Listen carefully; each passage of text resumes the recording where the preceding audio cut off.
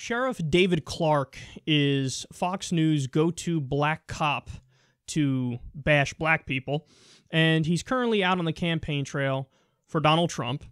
And he made some comments about uh, how it's time for pitchforks and torches. So that led to some controversy, and the media uh, covered it. And then the very next day, he came out and he doubled down and he repeated himself. Let's watch. Like I said, and I'll continue to say, it is pitchfork and torches time in America.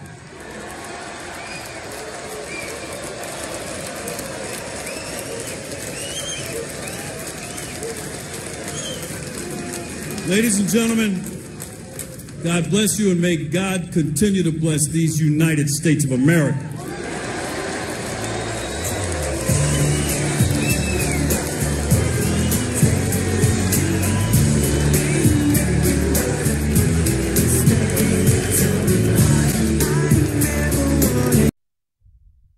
Hilarious that they cut to a Backstreet Boys song there.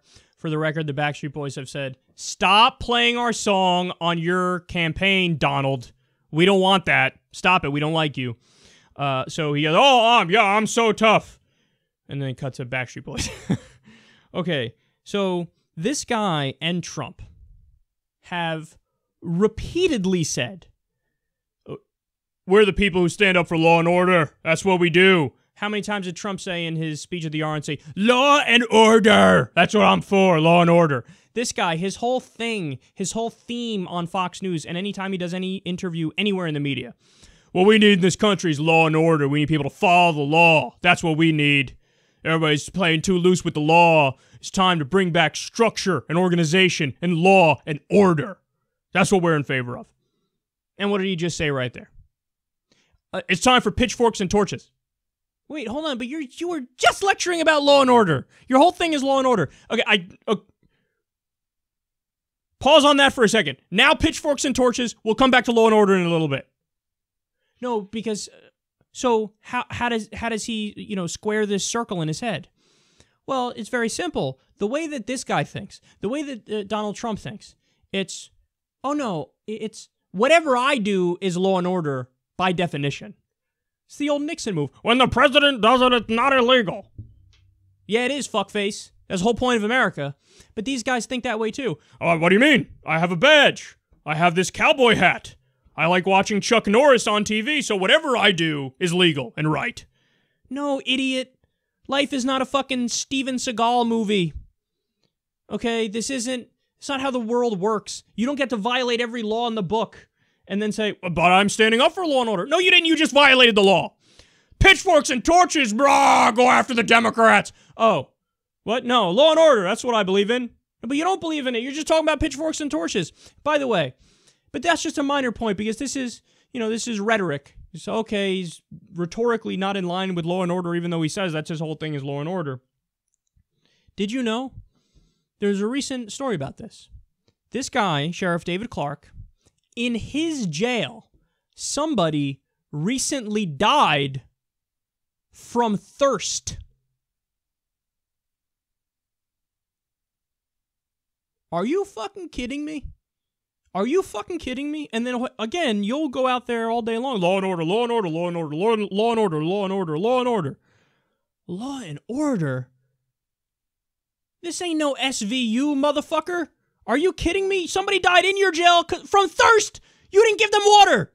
I think maybe you need law and order. You broke the law. Nope, when I do it, it's okay. Somebody dies in my jail of thirst. I'm not going to take responsibility. Who cares about law and order? Law and order for everybody else, not for me. I can do whatever I want, and that is the law. No, it's not. So these people, they, they're stuck on a toddler's mindset, and it's really sad. And for Donald Trump specifically, I mean, here's a guy who called the Geneva Conventions the problem. He wants to pull out of the Geneva Conventions. He's like, I'm the law and order candidate. Except international law. Fuck law and order for international law, but law and order I'm still on the side of. That doesn't make any sense. Ultimate law and order I'm against, but I'm for law and order. What? He says, let's bring back torture.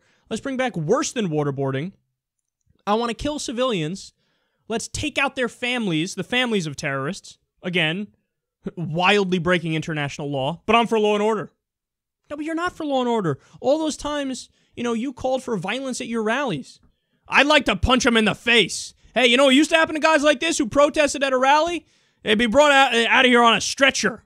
This is uh, law and order, law and order, but beat up people I disagree with. But law and order, law and order.